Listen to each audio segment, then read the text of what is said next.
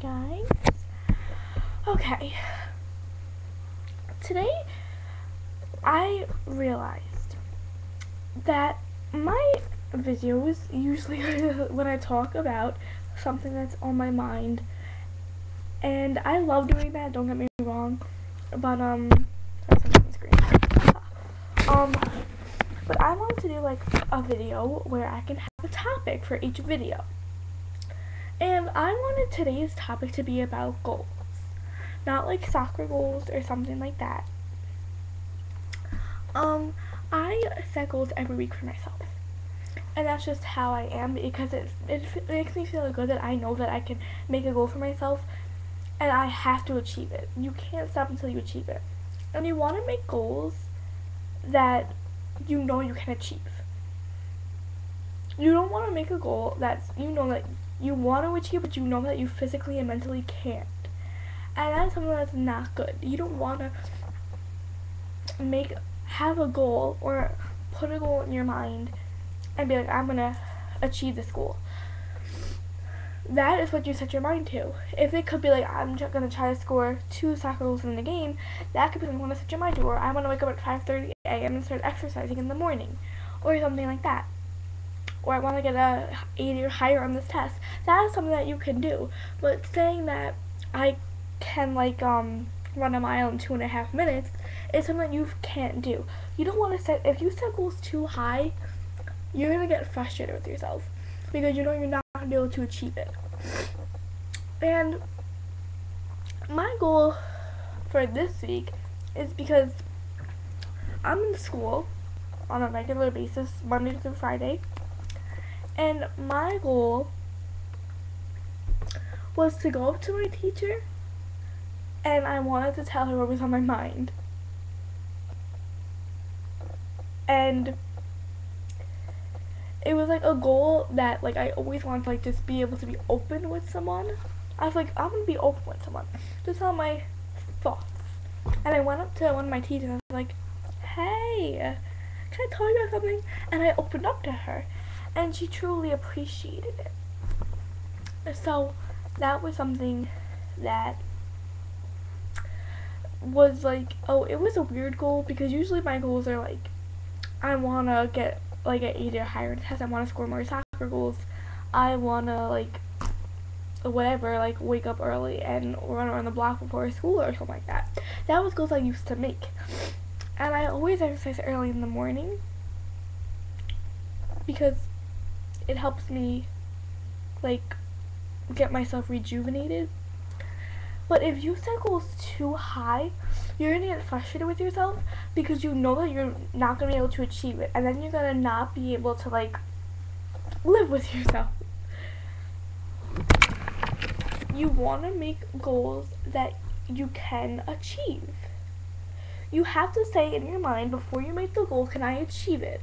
And if that answer is a no, you want to bring it down a notch. You want to say, okay, I'm going to work my way up to that goal.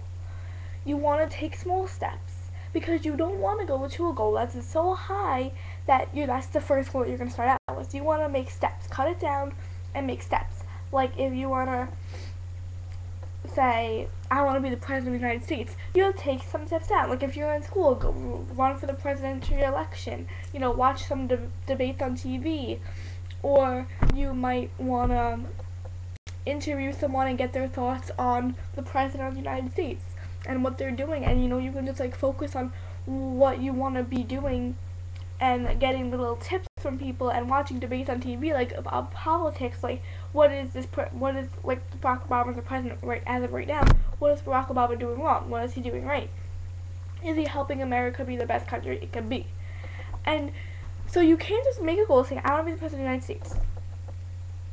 Because that's going to take a while, especially with your age. I mean, if you're like 15, you can't have president, the presidency when you're 15. So you don't want to make goals too high.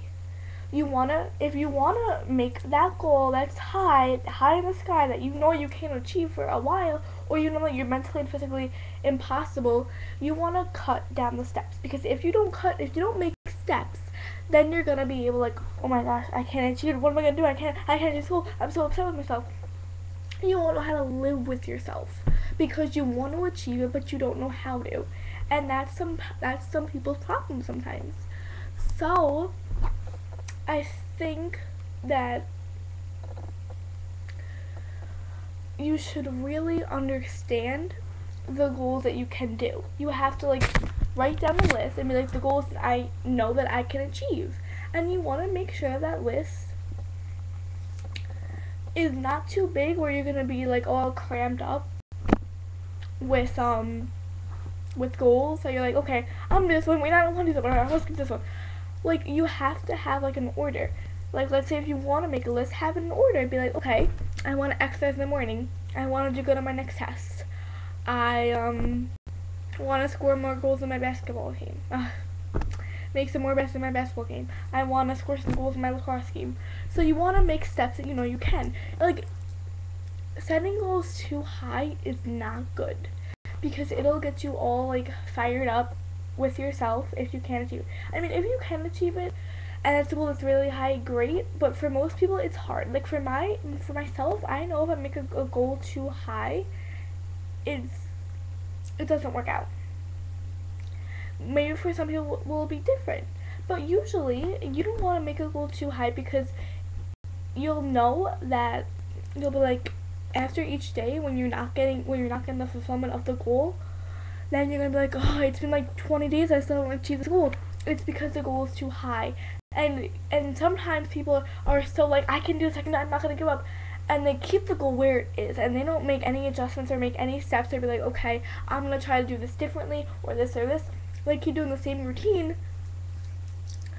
Some people are just like, okay, I realize I can't do this. I made a mistake. I'm gonna start making some steps. That's the key thing. Make steps so you know what step comes next.